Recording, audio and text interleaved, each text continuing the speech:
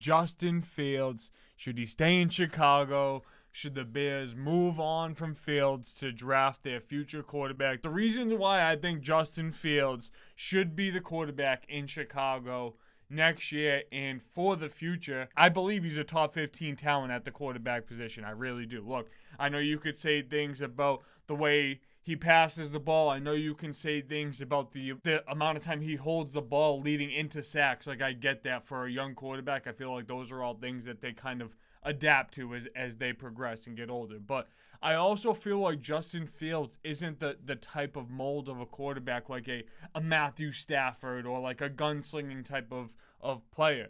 I kind of compare it a little bit more to, to the Lamar scenario, right? I don't think he's going to be a guy that's going to average, you know, 280 to 300 passing yards a game, but that doesn't mean he can't, you know, facilitate an offense. I honestly feel like we've seen, you know, a, a, lot of that this year with, with DJ Moore. Again, and it's no hate against Justin Fields, right? I think he's talented. I just think where the Bears have a situation where they have the first overall pick, and Caleb Williams has been on that Trevor Lawrence level of like, this is who the first overall pick is since he's like been in college. Like yeah. you've kind of known that that's the thing. I know that Trevor Lawrence hasn't been overly impressive as is right, and that's coming from me is like the Jags nut hugger over here. I just think when you have an opportunity where you're going to have to pay Fields, you have an opportunity to say, well, Eberflus has only been here for a year, and we think he's doing good things as coach. He can probably do very similar things with Justin Fields as his quarterback now versus Caleb Williams coming in. Like I think you can kind of I feel like Caleb Williams and Justin Fields are a little bit more similar than people are understanding. Like they can both move the ball. I think Caleb Caleb Williams is a better thrower. Caleb Fields. Caleb Fields, yeah, literally. so you have the opportunity to say, you know what, we're not going to pay this guy forty five million dollars this year, fifty million dollars this year. I don't think he's a fifty million dollar guy, but no, I, I, we're not going to pay him forty five million because I think he's in the forty five million if, if DJ's forty. Yeah. Uh, I'd probably say it's similar to there, and I just think like you know to a, to a testament of your part of the conversation, Justin Fields hasn't won. He has dealt with injury history, mm-hmm. but what I will say, some things that are working in his favor this year, he produced the best wide receiver season in Chicago Bears history in decades. He did, and I feel like that's extremely important. The numbers he had targeting DJ Moore eight touchdowns, zero interceptions, 74% of a completion percentage when targeting him, 1,100 yards. He had 139 passer rating, and that's all in 97 attempts. But you also got to look at that division. That's impressive. That is impressive. absolutely impressive. But you have to look in that division as like, is this the team that can get it done? Against the Packers, who have now come alive again. Yeah. Against the Lions, who are the best they've been in history, honestly. Yeah. So they have to now compete with this team, with the pieces that they have, the defense has played much better. I'll give you that.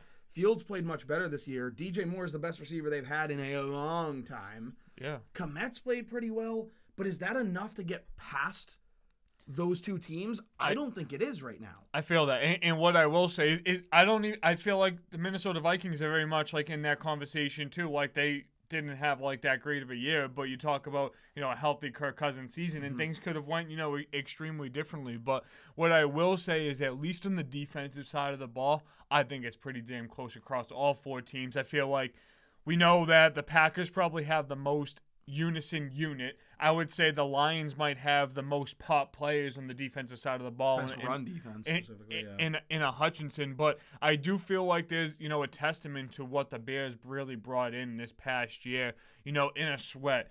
You know, bringing in you know Edwards at the linebacker position. So Jaylon Johnson. Yeah, and, and, and, I know that there's there's a lot that you know is going to happen on the back end throughout free agency this year, but I feel like what this also does for the Bears is is this is a team and an organization that saw the benefits of trading the number one overall pick, mm-hmm. right?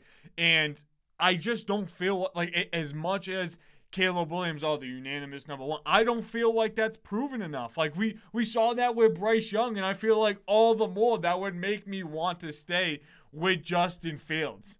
Did we see it with Bryce Young, or did one test score throw us off really bad? Did one test score throw us off really bad? When you look, when you can restart with Caleb Williams and you say, I'm not paying 45 to Justin Fields, I think he's going to get 45. I think yeah. that's the number. Yeah. You're not going to pay him 45.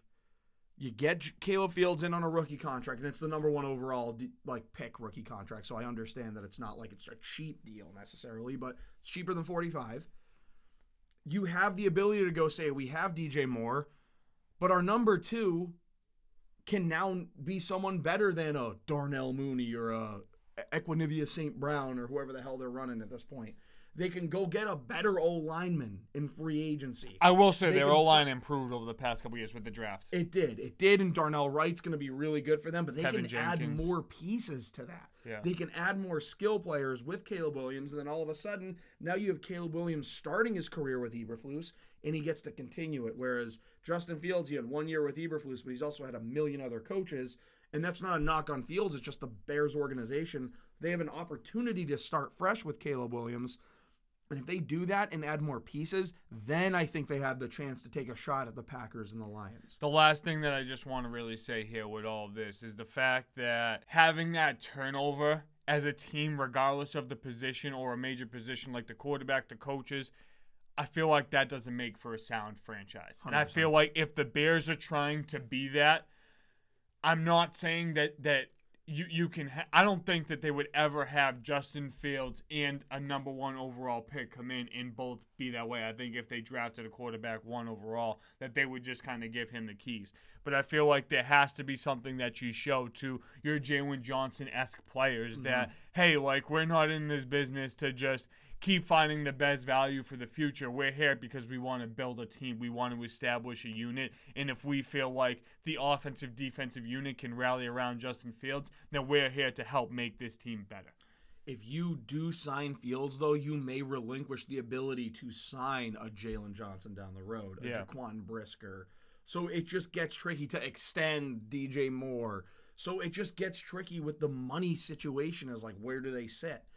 Because you got to think they also have, what is it, the 10 pick or the 12 pick or They have nine, one They and have- nine. So they have one and nine. So my my whole other thing too is is you could trade that one, ride out this year with Justin Fields again, still have him on his rookie contract. You make a move with the right team that's so hungry to go get Caleb Williams. You're in that same scenario again next year, three years in a row. New England. But also, like, if I'm a, as a New England fan here, I would say, like, I'd be ecstatic with having Justin Fields. Yeah. Like, I would actually be ecstatic if you have Justin Fields. We keep the three pick. We got Marvin Harrison. I not think only that like looks awesome for us. not only the Pats, I'm sure the Commanders would feel that way. Yep. I'm sure Atlanta would be stoked to have Justin Fields. Yep. Let us know what you guys think.